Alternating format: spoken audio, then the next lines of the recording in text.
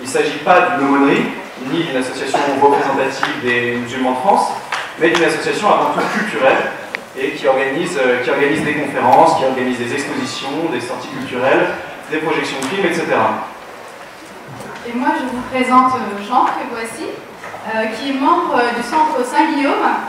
Et le centre Saint-Guillaume, c'est donc l'aumônerie des étudiants catholiques de Sciences Po, et qui est la plus vieille association reconnue de Sciences Po, avec leurs locaux du 42 rue Grenelle et leur, et leur l'accompagnement des aumôniers jésuites. Euh, il propose des activités nombreuses au cours de l'année, alors des messes hebdomadaires, des groupes de, réflexion, de etc. Et donc euh, l'association Salam et euh, le centre Saint-Guillaume ont voulu créer un groupe de réflexion qui a vu le jour donc, en début de cette année scolaire. Et des réunions mensuelles ont eu lieu qui permettent une meilleure connaissance des textes bibliques et coraniques et plus généralement sur les cultures euh, chrétiennes euh, et musulmanes. Euh, et il ne s'agit pas donc là d'une démarche synthétique, mais plutôt d'une démarche pour une plus grande connaissance mutuelle de l'autre, indispensable aujourd'hui. Donc la conférence débat de ce soir, du coup, ça représente vraiment le point culminant de ce partenariat. Le thème de la soirée, vous l'avez vu, c'est très précisément Islam et christianisme, une histoire d'un dialogue. Et ce sujet nous a paru particulièrement pertinent euh, au regard d'une actualité parfois assez conflictuelle entre chrétiens et musulmans, alors qu'il y a eu dans l'histoire un dialogue extrêmement riche, à la fois philosophique, scientifique, culturel, entre l'islam et christianisme. Donc au-delà des clichés, la conférence de ce soir a vraiment pour but de vous montrer la réalité d'un dialogue qui n'a pas toujours été facile, c'est vrai, ça a été une confrontation parfois, mais qui a bien existé et qui pourrait servir de socle aux relations actuelles entre nos deux religions. Pour ça, nous avons l'immense plaisir et l'honneur d'accueillir les professeurs Rémi Brague et Malek Chebel. Je vais laisser euh, moi présenter M. Brague. Rémi Brague, euh, bonsoir. Euh, vous êtes professeur d'histoire de la philosophie et l'un des très rares spécialistes en France des philosophies médiévales à la fois juive, musulmane chrétienne, membre de l'Académie des sciences morales et politiques, dont ouvrages ont fait date. On peut citer entre autres Europe, la voie romaine, ou encore Le Dieu des chrétiens et d'un ou deux autres. Et à mon tour de présenter M. Chebel. Bonsoir M. Chebel.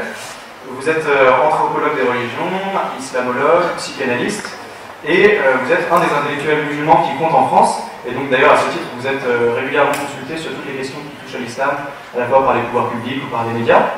Notamment, vous avez une émission télévisée régulière.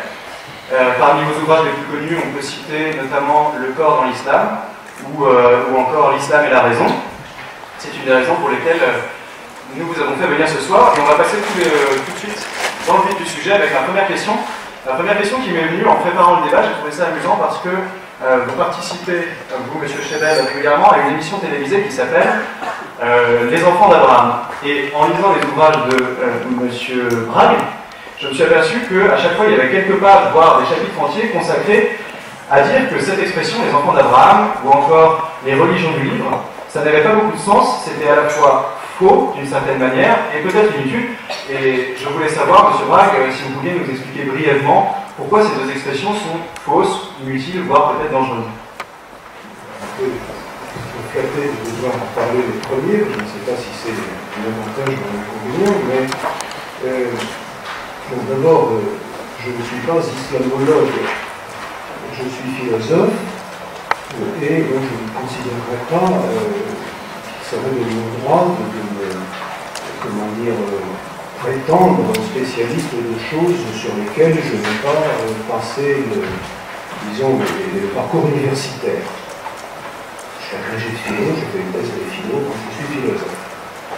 Mais euh, si vous voulez, je vais vous raconter, ça sera une manière de commencer à répondre à cette question. comment je me suis mis à comprendre qu'il fallait peut-être que je travaille un petit peu euh, ce que c'était que l'islam. C'était justement au début de mon activité euh, d'enseignant à l'Université Paris 1. J'enseignais donc la philosophie arabe, les textes philosophiques de langue arabe.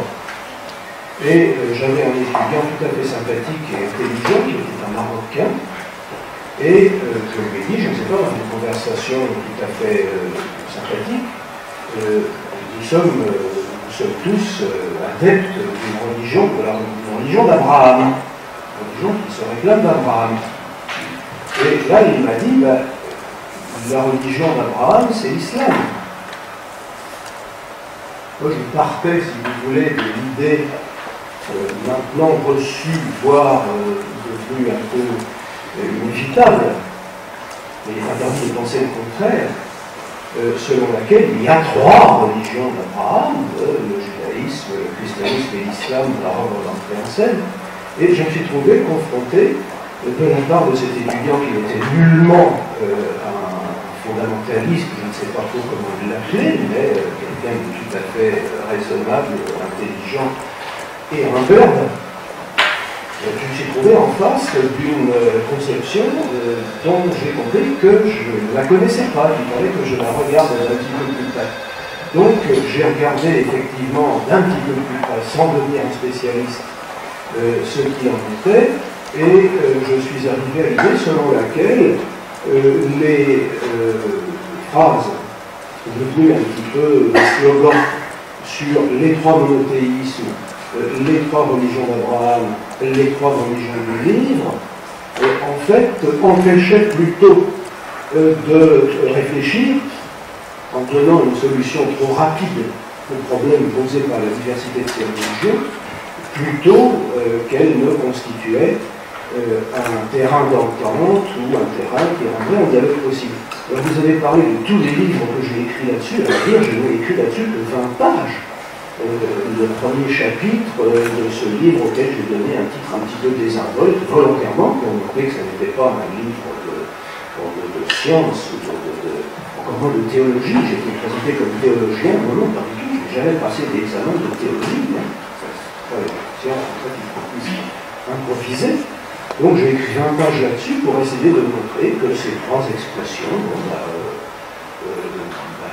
ne nous aident pas, ne nous aident pas à aller plus loin, parce que ça n'est pas de la même manière, même si les trois religions, bien entendu, euh, n'adorent pas deux, trois ou X dieux, mais un seul, ce n'est pas de la même manière qu'elles conçoivent le fait pour Dieu d'être un seul, si je puis dire, ça n'est pas de la même manière qu'elles ont un rapport à leur livre, le livre euh, chaque fois en question, donc ce que les chrétiens appellent l'Ancien Testament, le Tanakh pour les juifs, euh, la Bible dans son ensemble pour les chrétiens et le Coran n'ont pas le même rôle dans les trois religions.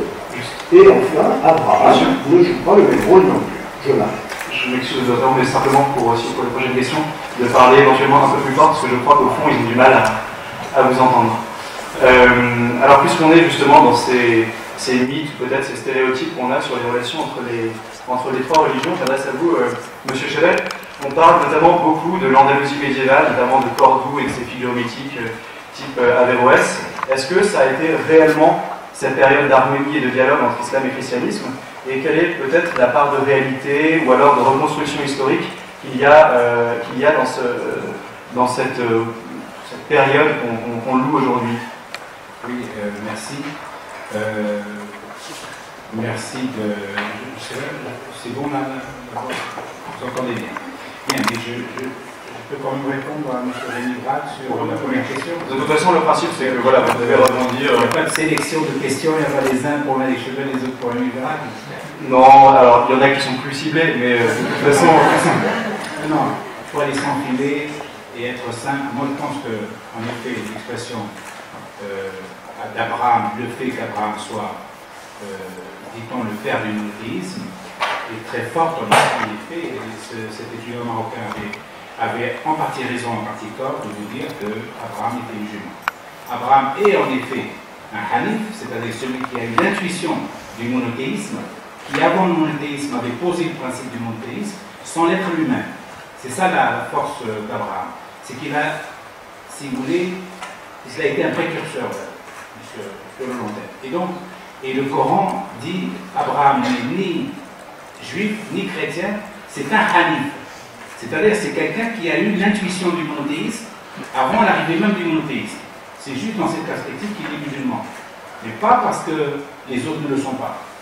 Bien au contraire, il est la synthèse des autres religion, Abraham de cette manière, dans la mesure où il a anticipé le monothéisme dans son ensemble, et ça se concrétise donc au moins au niveau du Coran comme étant, comme étant des, une cristallisation qui se fait au niveau du Coran, niveau du verset coranique, pour dire qu'il n'est ni juif ni chrétien, mais un hanif. Le Coran ne dit pas c'est un musulman. Et c'est en cela, c'est en cela que justement, non, non. Juste, ah, sortir la tradition, de la, de, la, tradition la plus orthodoxe de, des, des Corans. Je ne sais pas si on va faire de l'exégèse coranique maintenant. Mais non, mais c'est intéressant, c'est intéressant. En attendant, peut-être si vous pouvez nous parler de Cordoue. Cordoue vient après. Cordoue, ne vous inquiétez pas, viendra après. Restons sur Abraham. Alors, juste. Euh, Allez-y. En, en, quoi est-ce que ce que disait M. Chebel euh, ne, vous convient pas? Euh, Tout simplement parce que ben, non, ça me convient et ça ne me convient pas à la fois, si vous voulez. Euh, le, texte de la Sourate 3, verset 67, dit exactement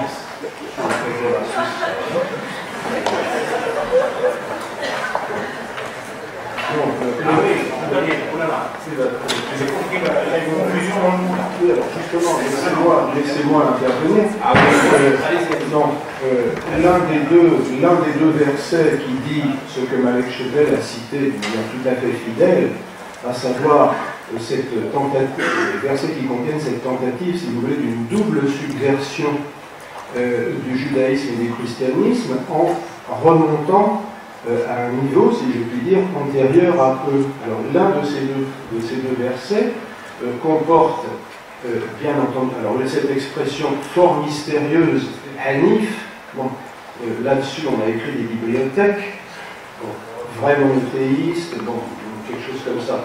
Et euh, l'arabe emploie le terme, un terme que qui se traduit maintenant par musulman, mais que la traductrice, Denise Masson, a eu la prudence de euh, traduire d'une manière tout à fait neutre, et sur ce point, je crois d'accord avec. On va voir ce qu'il a dit. Visiblement, c'est pas.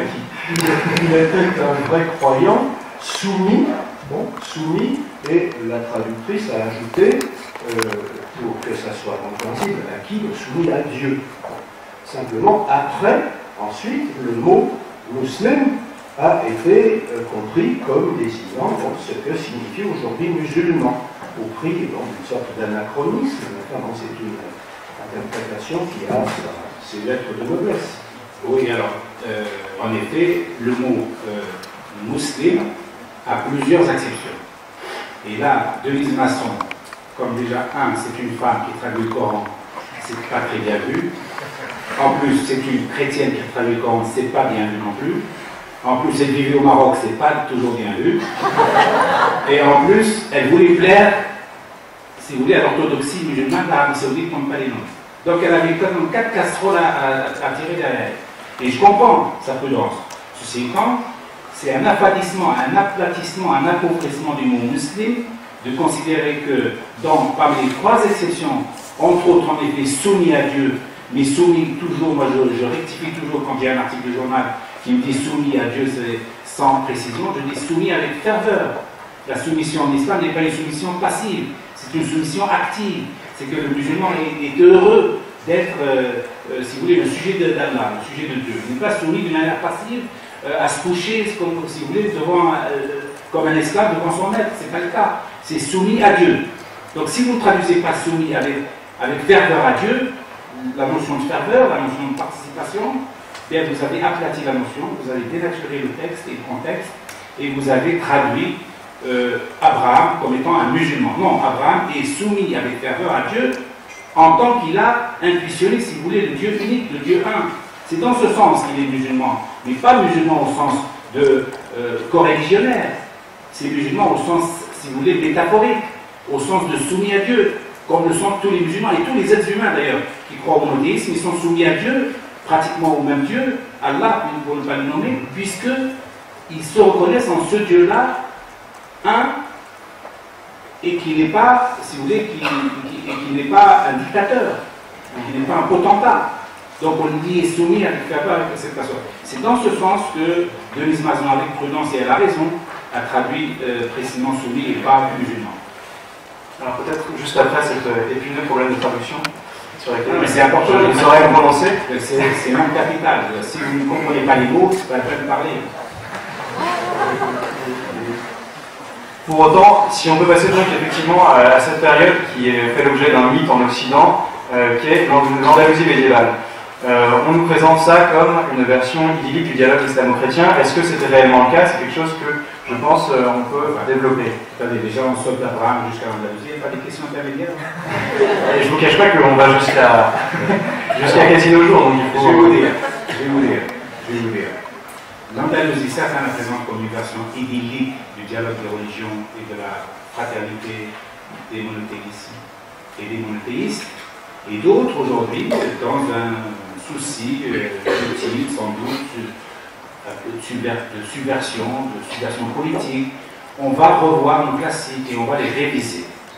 Faire du révisionnisme de Beaumanoir, surtout quand c'est dans des académies, dans des livres. Et on vous dit c'est la version édulcorée du dialogue entre les livres. Édulcorée. C'est-à-dire que finalement, pour qu'il y ait un dialogue, selon la deuxième tendance, la deuxième version, la deuxième école euh, que moi j'appellerais un peu révisionniste, c'est qu'il faut se dépouiller de ses croyances et venir uniquement avec une fleur à la main. Et là, on peut dialoguer, chacun apporte euh, sa quote-part de, douceur et gentillesse, et on va dialoguer. Donc, euh, évidemment, dans ces conditions, l'Andalousie n'a jamais existé, sous cette optique-là. L'Andalousie a existé, en effet, et c'est même, je dirais, une pure, une pure, euh, comment dire, une, exception dans l'histoire de l'humanité, pas seulement de l'islam, mais de, de l'humanité. Durant sept siècles, il y a eu des, juifs, des chrétiens, des musulmans et des, agnostiques, des athées, toutes sortes de religions, pas de religion d'ailleurs du tout, qui ont vécu sur une terre, en effet, euh, conquise par les musulmans, mais de nouveau reconquise plus tard par ses premiers propriétaires, c'est tout à fait normal. Mais néanmoins, pendant sept siècles, on parle de siècles, on parle pas de quelques semaines. La laïcité, à un an, à un siècle d'existence, déjà, elle, a, a- a a subi 40 révisions. Oui, oui. 40 révisions.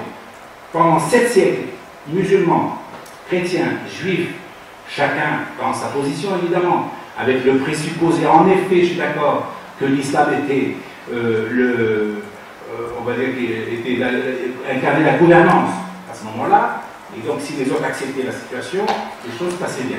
Sept siècles, et de grandes réalisations ont été faites. Pas tout évidemment, et ils n'ont pas recréé la planète, ils n'ont pas recréé l'humanité tout entière. Il y a évidemment des faiblesses et des, imperfections. Mais néanmoins, je trouve que, euh, grosso modo, si nous arrivions aujourd'hui en France, au moins pendant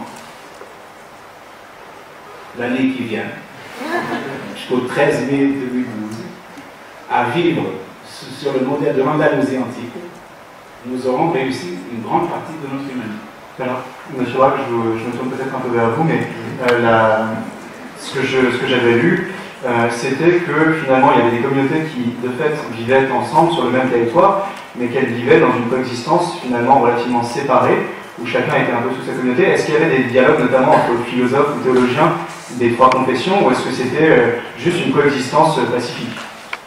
J'ai malheureusement beaucoup à dire sur ces sujets et euh, je crois qu'il va falloir que vous m'interrompiez. Euh, Ah, déjà, euh, M. Chevel a supposé euh, que euh, le rêve andalou avait été une réalité. Moi, je me permettrai d'apporter quelques nuances à cette idée, mais je voudrais déjà faire remarquer que vous demandez pourquoi nous avons besoin de ce rêve. Euh, je dirais, et là je sais que je parle à Sciences Po, eh bien je dirais que le rêve d'un paradis terrestre devient peut-être indispensable à partir du moment où on cesse de croire à un paradis céleste, d'une part, et d'autre part que les paradis terrestres contemporains, à savoir l'URSS, la Chine de Mao, Cuba et autres, en ont quand même pris un sale coup depuis quelques années. Il est difficile de penser que le paradis terrestre soit maintenant contemporain. Alors ben, il faut trouver un endroit euh, où on va pouvoir le loger euh, sans trop de danger. Le passé, c'est l'endroit idéal parce que personne ne peut aller vérifier. Alors, où le situer? Bon, Alexandrie, il y a maintenant à peu près plus d'Italiens, de Grecs et de Juifs à Alexandrie, c'est une ville entièrement musulmane, ou quasiment entièrement. C'est plus la ville de Lorenz Garel. La Bosnie, bon, n'en parlons pas, peut-être mieux. L'Andalousie suffisamment loin pour qu'on puisse raconter de peu n'importe quoi. Moi, je dirais que c'était une société médiévale comme une autre, ni pire, ni meilleure. Et sur les sept siècles en question, ça, on peut calculer le nombre de 711 à 1492, qui est la date de l'expulsion, de, pardon, de la fin euh, du euh, royaume monastique de Grenade, donc la fin de ce que l'on appelle la reconquête, qui été plutôt une conquête reconquête, enfin peu importe. ces sept siècles, je crois qu'il faut en rabattre pas mal. ne serait-ce par exemple que si l'on regarde les exemples des noms qui ont été donnés dans ces questions, que je trouve tout à fait d'ailleurs bien faites. Cordoue et ses figures mythiques, de quoi Maïmonide, Averroès, etc.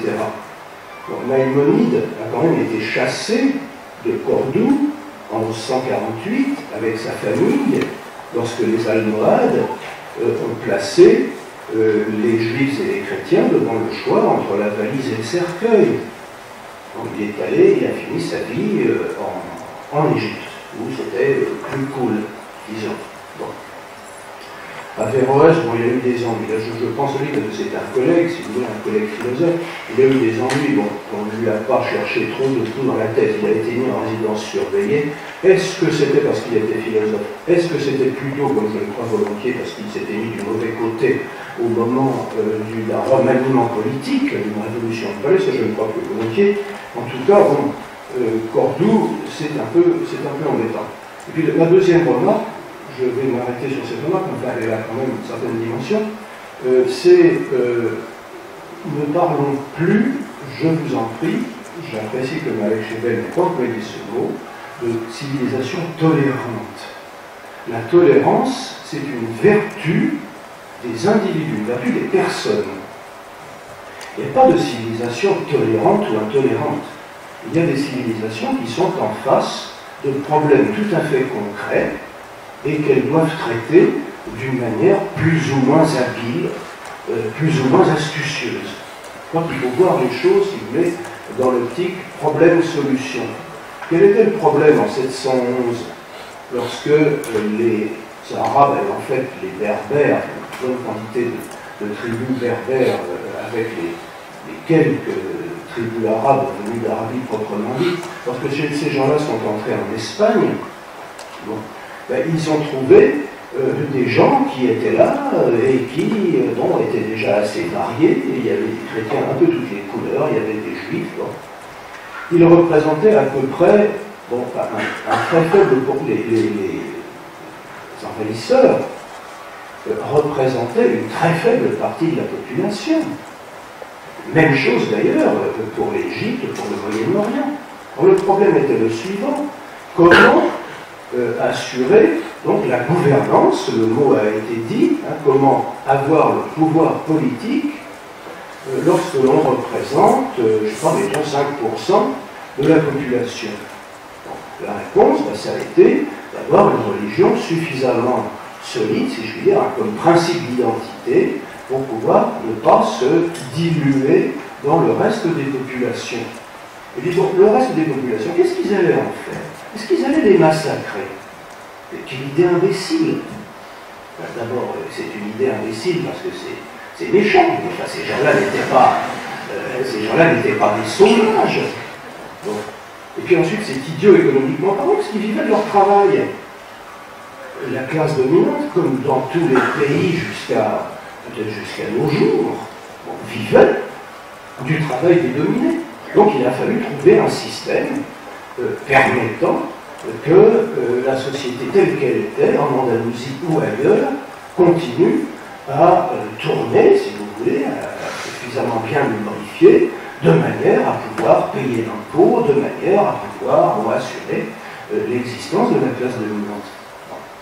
Alors, ce qu'on appelle tolérance, ben, c'est simplement la réponse très astucieuse et très humaine euh, qui a été portée à ce problème très concret, à savoir, euh, si j'ose dire, euh, créer une nasse. Vous savez ce que c'est qu'une nasse Les gens qui aiment la pêche à la ligne, non pas la pêche à la ligne, mais la pêche à la bouteille, en l'occurrence, savent ce que c'est. Une nasse est un système dans lequel on peut entrer, mais on ne peut pas sortir. Voilà les règles qui ont été imposées aux juifs et aux chrétiens étaient, étaient, comme ça. Vous pouvez entrer dans l'islam, une fois que vous êtes entré, vous pouvez plus ressortir. Ben voilà. Comme en plus il y avait une pression assez douce. Hein, il ne faut pas s'imaginer le cimetière brandi à toute occasion. Il y avait un système assez doux qui consistait à faire payer plus d'impôts euh, aux juifs et aux chrétiens qu'aux musulmans. Bon, ben, il s'est passé la même chose dans ces pays-là que bien plus tard, par exemple, dans l'Angleterre d'Élisabeth Ier, qui a appliqué exactement le système à ses sujets catholiques. Au bout de quelques générations, les catholiques étaient en forte minorité. Donc la tolérance n'est pas l'attitude que l'on a envers une minorité. Donc c'est très important. C'est le problème, c'est une solution très habile, très astucieuse et très humaine, posée par le problème de l'existence d'une majorité que l'on contrôle. Et je crois qu'on peut dire ça de l'Andalousie, comme de l'Irak, comme de l'Égypte, euh, comme de, l'Iran euh, et, du reste. Fait, je crois qu'il y a eu d'ailleurs des, des, personnalités comme ça dans la, dont la famille, me semble-t-il, a été fonctionnaire pendant des générations de l'administration musulmane, sans que ça pose un problème. Les, les Omeyyades n'étaient pas des idiots, ils ont utilisé les compétences. Euh, ils venaient d'Arabie, donc d'une situation, si vous voulez, sociale et politique, quand même assez rudimentaire. Sait pas grand-chose, assez rudimentaire par rapport à la manière dont l'Empire byzantin était gouverné. Il y avait des, euh, fonctionnaires sur place, ils ont maintenu en place, jusqu'au moment où ils sont devenus suffisamment grands, si je puis dire, pour pouvoir marcher tout seuls. Et Jean Damascène, donc, qui est l'un des plus anciens témoignages, non pas sur l'islam, il ne nomme jamais, il ne dit jamais l'islam, il dit les Ismaéliens. Ça n'a rien à voir avec Euh, euh, les, ces gens-là, hein, c'est une manière de désigner les Arabes considérés dans le vocabulaire biblique comme les descendants d'Ismaël, hein, le, fils d'Abraham. ce sont des phénomènes extrêmement concrets. Hein, pour, je ne suis pas historien moi-même, mais je crois qu'il faudrait vraiment là, un historien pur et dur, euh, un vrai, pour euh, traiter cette question. Et pas euh, comment dire, distribuer des prix de, tolérance ou des bonnets d'âme d'intolérance. Alors moi j'avais une question. Euh, alors la philosophie euh, théologique chrétienne médiévale fait souvent référence aux penseurs arabo-musulmans à l'ouest par exemple pour s'y confronter ou s'y opposer. Alors il y avait une réciprocité dans le monde musulman avec des penseurs faisant référence à, des théologiens et philosophes chrétiens, donc euh, sans la médiation euh.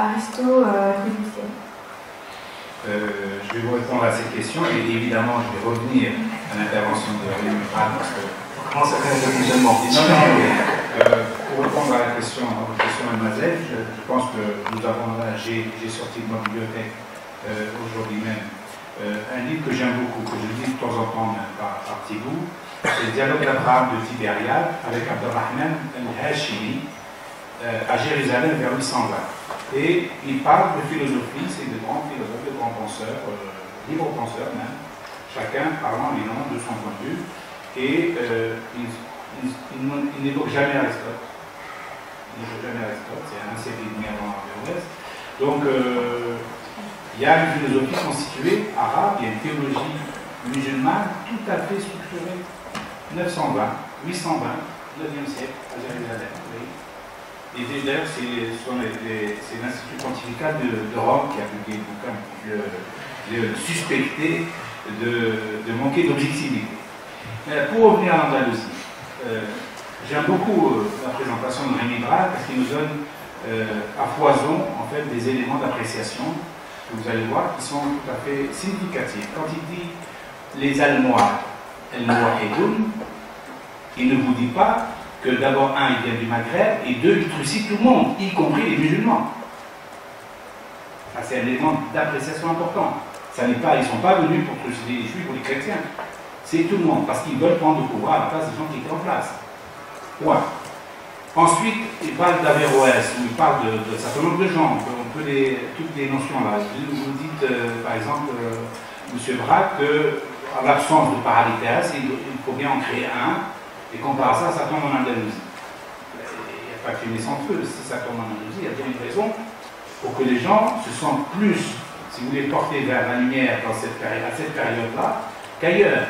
Et puis évidemment, les sept siècles, c'est métaphorique encore, c'est une image pour dire que pendant ces siècles, les choses sont bien, bien passées, grosso modo. Vous dites que les, les, juifs et les chrétiens sont là juste pour payer d'impôts, pour que les musulmans encaissent comme s'ils étaient euh, des, patrons. Euh, non, il y a eu des accords avec, euh, au temps même du prophète, entre les chrétiens, les musulmans et les juifs, pour que, pour, pour réguler le problème de, la guerre et de la paix. Vous savez, il y a eu des accords par écrit, il y a eu des accords par écrit, où les responsables de chaque communauté euh, acceptaient le périmètre dans lequel ils se situaient et qu'il n'y avait pas de dimi, de dima, la dima comme on dit, comme il y a toute, une, toute, une, tendance aujourd'hui en France et aux États-Unis et au Canada, euh, des, des dimistes spécialiste de la Timma, c'est-à-dire le fait que les Juifs aient été, selon les Juifs d'ailleurs, euh, dans certains cas, parce qu'il ne sort pas de. pour bien montrer l'opposition qu'on a aujourd'hui avec Israël et le monde arabe, parce que, évidemment, ce sont des, images fortes qui, restent dans la tête des gens.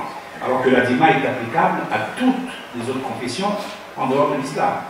La Dima, c'est un accord, un pacte conclu avec les responsables de chaque communauté pour que, d'abord, on leur fout la paix, les musulmans ne les agressent pas, étant donné qu'ils sont les membres euh, des, religions du livre, chrétiens ou musulmans, euh, chrétiens ou juifs, et donc sur, sur cette base-là, il n'y a pas d'agression des musulmans vis-à-vis des juifs ou des chrétiens sur la base qui sont donc les adeptes du livre.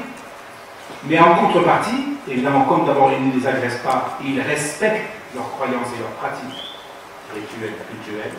Ça, c'est personne ne vous dira, même Maïmonide, qui est le plus grand savant juif d'Andalousie, euh, jamais, ne s'est jamais plaint du fait qu'en Andalousie ou ailleurs, il ait, été empêché, de quelque manière que ce soit, d'être juif et d'être un grand penseur juif. Euh, de la même manière, évidemment, les chrétiens aussi pouvaient pratiquement à 100% tout le temps, et même en situation de crise, pratiquer leur religion. En contrepartie, la Duma, elle est faite pour des gens qui ne font pas la guerre, qui, ne prennent pas le, cimetière au nom des musulmans pour aller, si vous voulez, faire mener des batailles ailleurs. Et donc il y avait une sorte de péréquation, le fait de ne pas être dans les terres musulmanes, devenu musulman évidemment par la conquête, mais ça c'est l'histoire, on ne peut pas y changer, on ne la changer.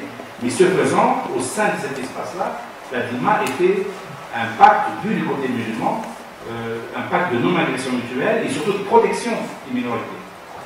Et les minorités devaient payer euh, une dîme, d'ailleurs les musulmans aussi payaient la dîme. Ou alors ils la payaient autrement, c'est la dîme de sang. C'est-à-dire qu'ils allaient combattre aux frontières de l'islam et souvent ils, laissaient leur peau. Donc c'est plus complexe qu'on dit. Même moi, je, je, vais à l'essentiel. Mais globalement, sur cet euh, espace-là, sans doute qu'on euh, aurait pu faire mieux que l'Andalousie.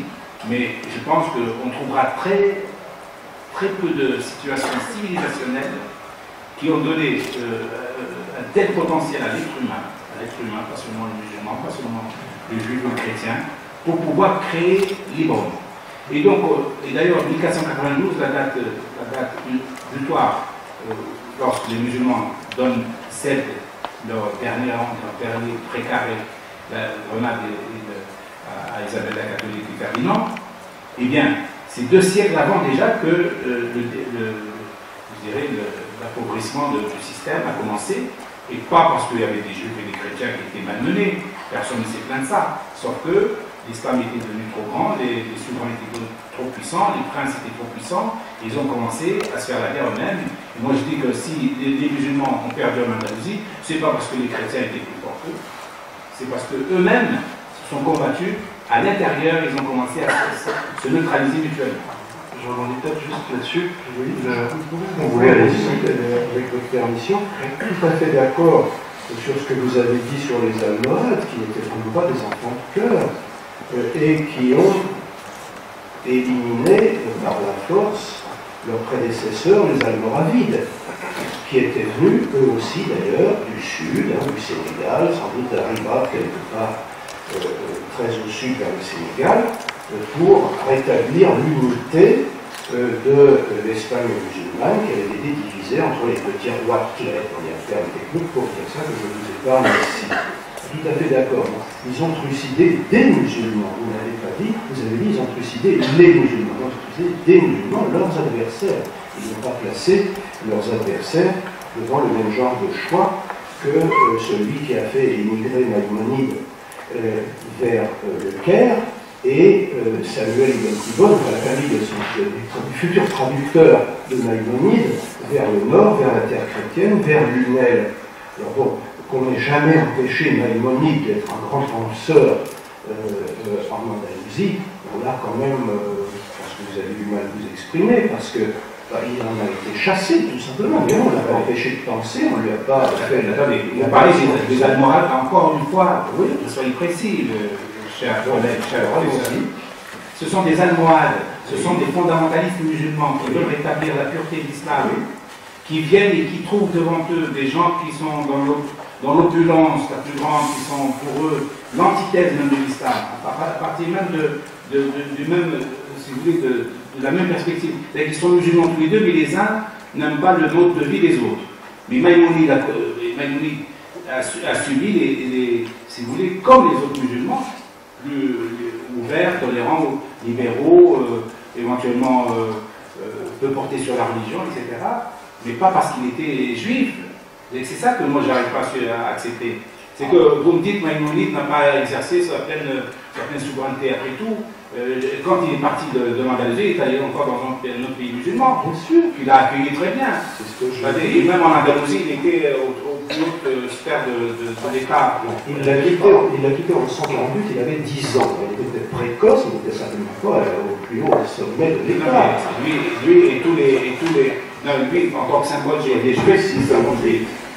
Alors, ce qu'on peut voir en tout cas, c'est que l'Andalousie n'était certainement pas une vallée rose, euh, même si, euh, même s'il y a eu une coexistence à certains moments. Mais longtemps non plus trop loin, je ne vais pas euh, euh, dire absolument le contraire. hein. Euh, L'Andalousie, alors il y a une, une réalité, une floraison culturelle remarquable. Hein. Des astronomes, euh, des opticiens, euh, des philosophes, on vient d'en parler, euh, une, une, si vous voulez, un terreau sur lequel la pensée pousse bien. Bon, ça c'est. Ça c'est vrai. Alors, énorme. pourquoi Pourquoi Bien? Sûr, c'est énorme, mais ça n'a rien à voir avec quelque chose comme de la tolérance ou du dialogue. Bon, euh, ce qui est vrai aussi, vous avez posé la question pourquoi euh, a-t-on cherché ce paradis terrestre en Espagne?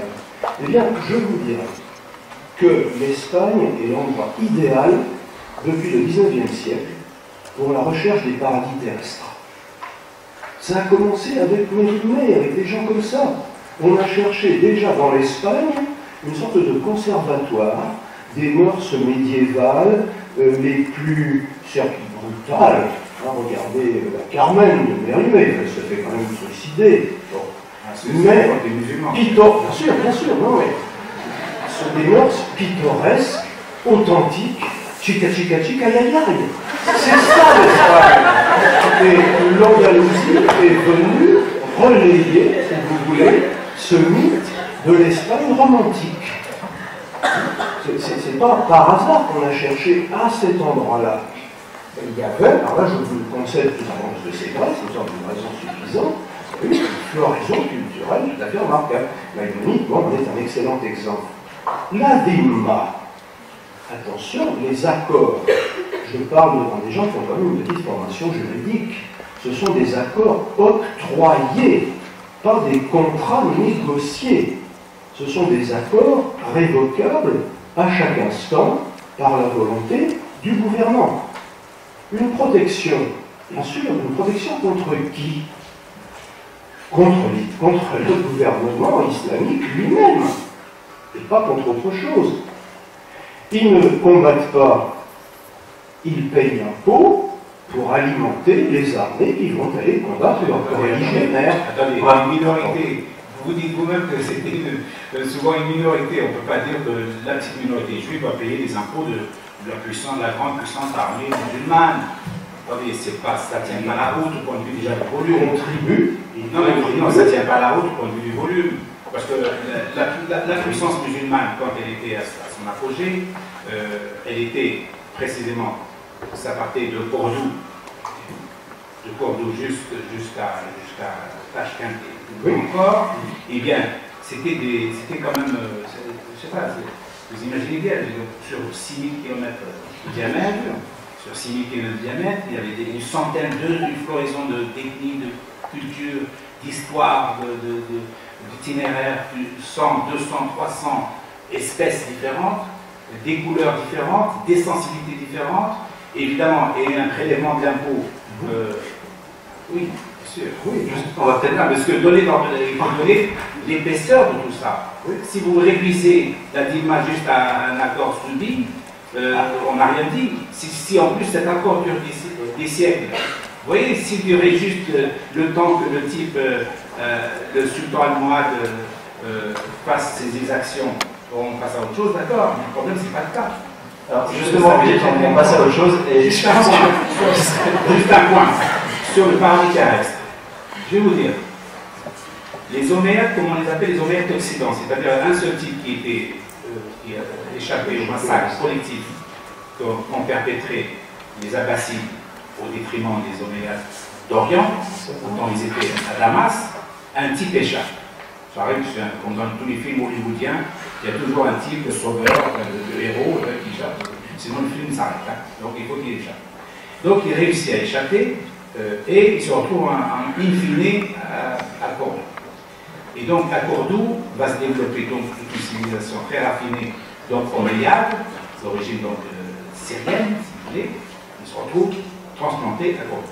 Et leur, leur obsession à ces Omeyyades d'Occident, qui sont des gens d'une grande culture, d'une grande urbanité. Il ne faut pas oublier que euh, nous sommes à une période où ils, ils avaient synthétisé l'ensemble du savoir-faire oral et l'éloquence arabe en termes de poésie, en termes euh, d'art amoureux, d'art toi, de convivialité, de commensalité.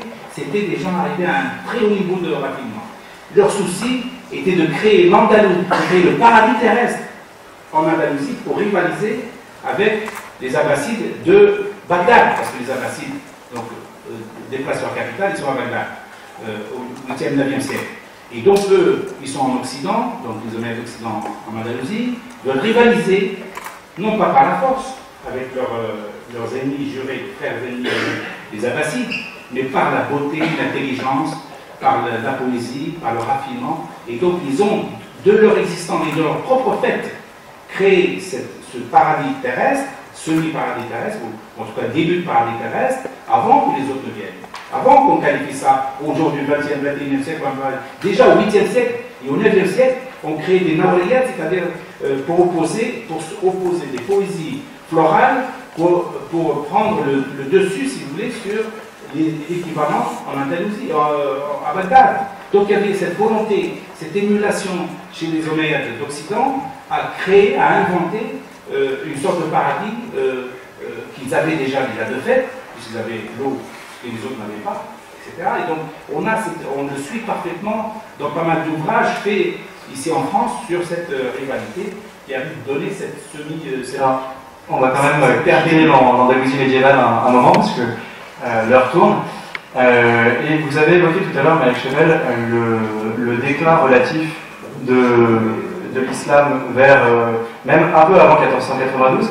Et à ce déclin de l'islam en tant que tel correspond aussi le déclin du, dialogue entre l'islam et le christianisme, puisque on peut penser évidemment au Moyen-Âge à saint Thomas d'Aquin, effectivement, qui cite Averroès régulièrement, ou d'autres, la Vicenne.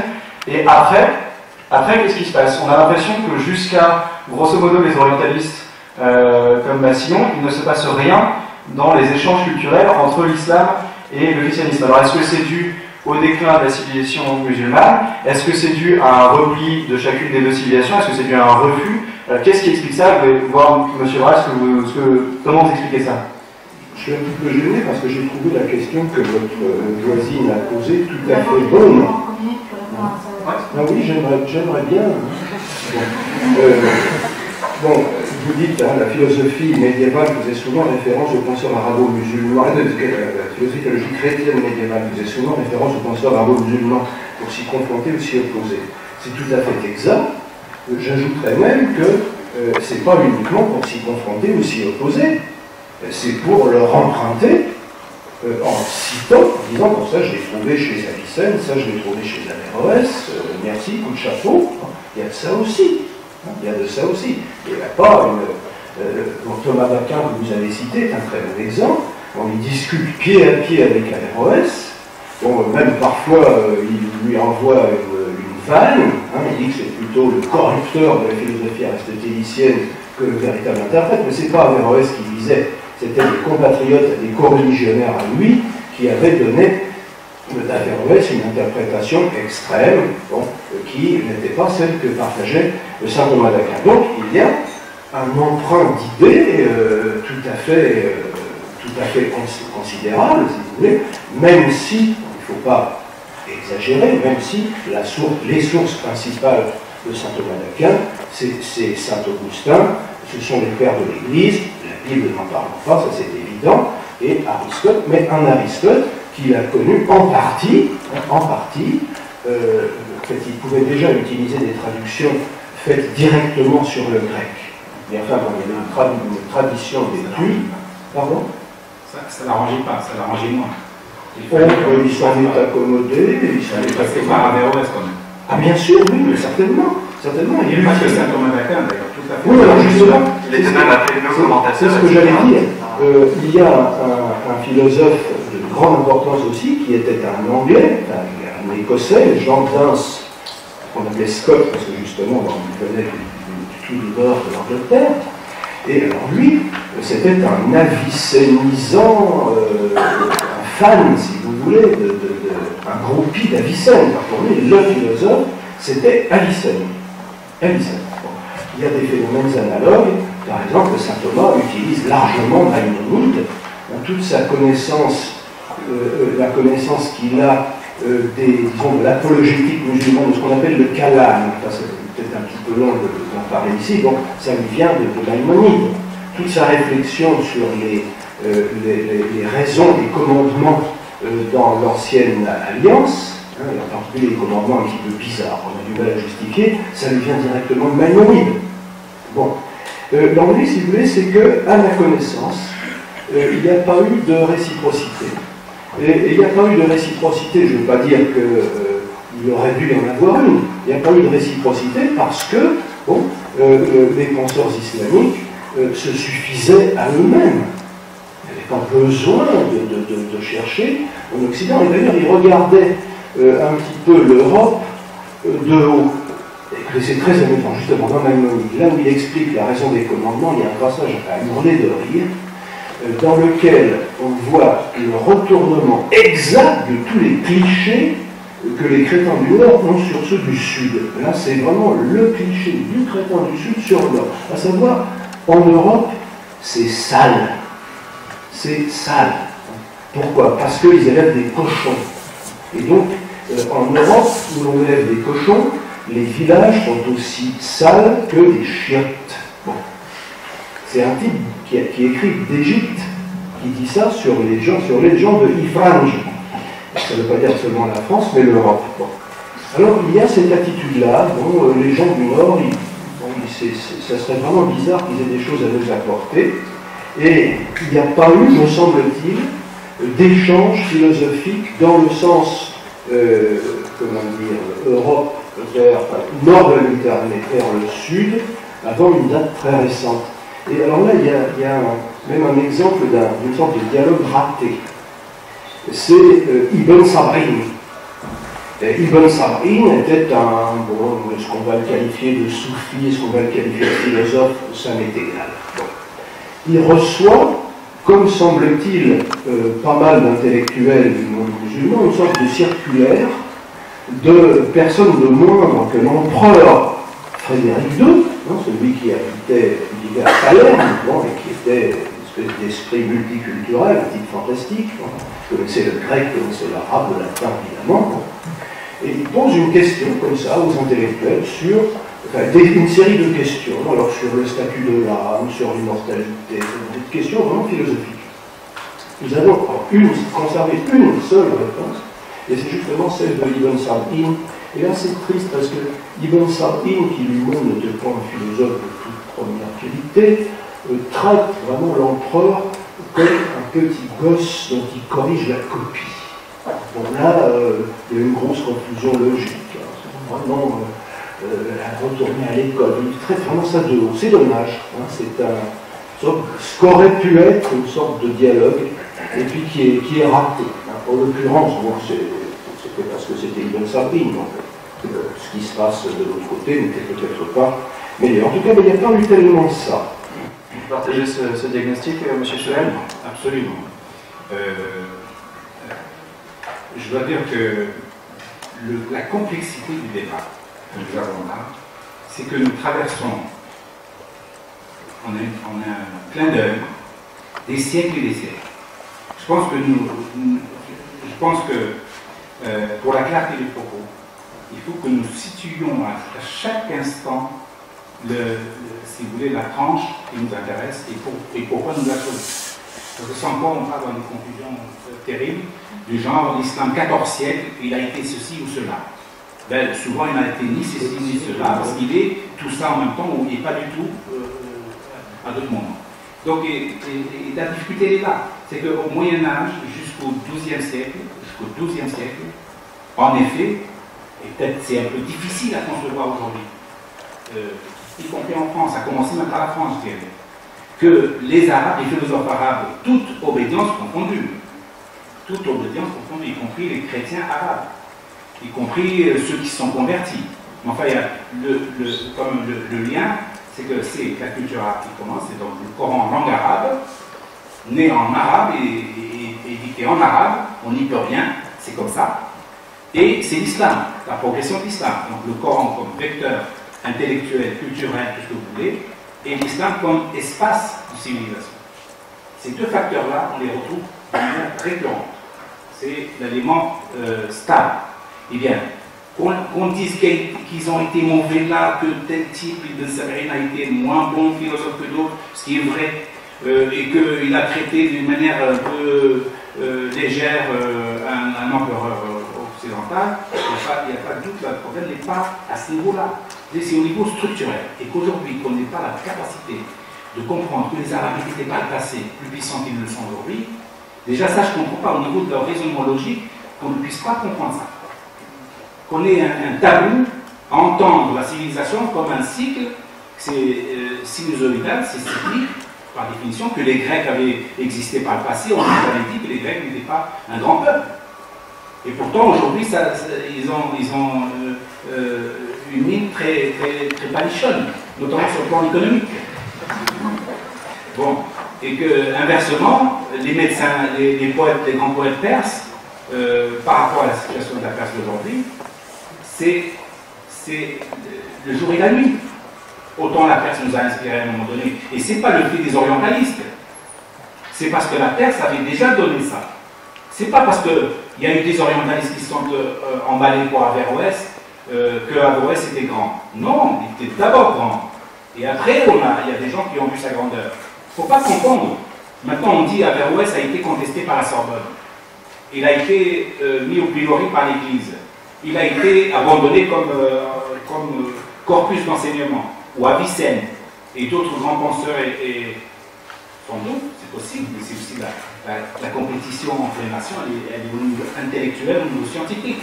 Averroès ne peut pas répondre ad vitam à toutes les questions d'humanité. Il faut être sérieux. Il ne faut pas attendre Ernest Renan au XVIIIe siècle pour, apprendre ça, sauf parce qu'il était focalisé là-dessus. Donc moi je dis, toujours, il faut avoir deux, trois euh, focales différents pour analyser les phénomènes culturels. Si on parle des individus, moi j'accepte toutes les, toutes les évaluations sans aucun problème. D'accord. Si on parle des. des, des, des dans un livre qui s'appelle Le sujet en islam, j'ai pas dit qu'il y avait trois grands corps sociaux qui ont euh, conduit l'islam depuis le début jusqu'à nous. D'abord, évidemment, le corps des théologiens, le corps des califes, les califes c'est le pouvoir politique, et puis un troisième corps qui est le corps des, savants, c'est euh, le penseur. Et donc les trois corps, on trouve que les trois, tout le temps, depuis le début jusqu'à nos jours. Donc le calife, c'est-à-dire l'équivalent du, du, président à aujourd'hui, ou du despote, ou, du roi, il s'entoure tout de suite par les théologiens pour rendre halal si je puis dire, pour lui donner des faits positifs pour les actions qu'il mène par rapport à la population. Et derrière, il y a, le marchand. Le, savant, c'était dans la deuxième, le deuxième cercle. Il, est malheureusement toujours euh, au-dessus du marchand, du théologien et, du, de, l'homme Il y a le marchand, le marchand qui fournit la. Et donc, selon les périodes, une bonne gouvernance elle peut être équilibrée entre les trois corps sociaux importants et on a l'ouverture d'observatoires euh, importants, euh, et donc une sorte de, euh, science désintéressée, une sorte de, de réflexion désintéressée. C'est-à-dire qu'on construit un observatoire pour observer le ciel. C'est pas plus désintéressé que ça. À cette époque-là, aujourd'hui c'est un peu plus intéressé qu'avant, c'était totalement désintéressé. On construit des hôpitaux, on construit des, universités avec des, chambres d'étudiants, etc. C'était désintéressé c'était pour la transmission? On traduit toutes les œuvres une grande partie des œuvres grecques, c'était désintéressé. C'était la curiosité intellectuelle, c'était le fait qu'ils ont compris que la science était une sorte de. Euh, c'était un Coran appliqué, en quelque sorte, pour les musulmans. Alors, peut-être un, petit point technique euh, à propos de. Parce que c'est quand même important aussi pour les musulmans et les catholiques d'hier et d'aujourd'hui, euh, c'est de savoir quels sont les moyens de salut donc euh, pour rentrer au ciel, alors ça, peut être un peu long, mais peut-être très rapidement, envisagé par les catholiques pour les musulmans et réciproquement. Euh, savoir, parce que j'imagine que ça a des implications aussi sur le comportement pratique des gouvernements chrétiens sur les musulmans et réciproquement. Je ne sais pas si ça vous inspire, visiblement pas trop. Je vais répondre en une phrase et ensuite je vais reprendre ce qui a été dit. Très bien. Selon l'Église, je ne suis pas théologien. Moi je dirais, si j'ai bien compris mon catéchisme, il est assez ancien, le, moyen de salut pour les, non-chrétiens est le même, que ce soit pour les musulmans, les mormons ou les bouddhistes, c'est écouter la voix de sa conscience morale et y obéir. Point. Je reviens à ce qui a été dit auparavant. Alors, Averroès, excusez-moi, c'est un de mes amis, Averroès, si je puis dire un très grand titre, un très grand titre. le commentateur d'Aristote le plus précis, le plus scrupuleux, un très grand bonhomme. Il a été reçu en Europe. C'est en Europe que l'on a lu la Verroès, chez les Juifs et chez les chrétiens. Dans son pays, vous connaissez le proverbe, nul n'est prophète en son pays, dans son pays, il a été à peu près oublié. Sauf un petit peu comme juriste, parce que la philosophie n'était pas son boulot. Hein. Son, véritable métier, c'était d'être juriste, et un juriste de très très haut niveau. Mettons, je ne sais pas, premier président de la Cour de cassation. le grand caddie de Cordoue, c'était pas n'importe quoi. Mais comme philosophe. Et là, il y, a, un paradoxe, si vous voulez. Ce grand bonhomme, justement parce qu'il était très bon, et, et euh, Malek Chebel l'a dit, euh, il n'y a pas que lui. oui, c'est qu'il y a des gens qui ont cru qu'il n'y avait que lui, et qu'il n'y avait que Aristote, tel que Averroès l'interprétait, ce qui fait que dans l'histoire des idées, c'est un à dire, mais il a eu un rôle réactionnaire